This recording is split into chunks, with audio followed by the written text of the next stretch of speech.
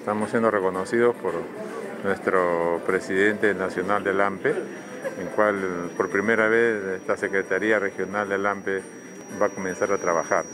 Y la primera es la convocatoria que, se está haciendo los alcaldes para trabajar unidos, para trabajar, unir esfuerzos y lograr que nuestros proyectos, eh, nuestro desarrollo eh, sea encaminado ante el gobierno central para que nos escuche y poder desarrollar nosotros los proyectos que tenemos encaminados.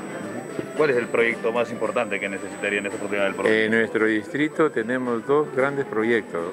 Uno de ellos es reducir la brecha de, de agua y alcantarillado en nuestro distrito, que el 20% de, de, nuestro centro poblado de Trujillo no tiene ni agua ni alcantarillado. Es un proyecto muy grande, 184 millones de soles, que se necesita para desarrollar este proyecto y se logre, digamos, reducir la brecha a cero, porque no es posible que a, a 10 minutos de Trujillo hay muchas familias que todavía no tienen ni su agua ni su alcantarillado con el tema de seguridad ciudadana, ¿cómo está manejando ese tema? Estamos, eh, hemos empezado un, primer proyecto de, eh, eh, que está en ejecución.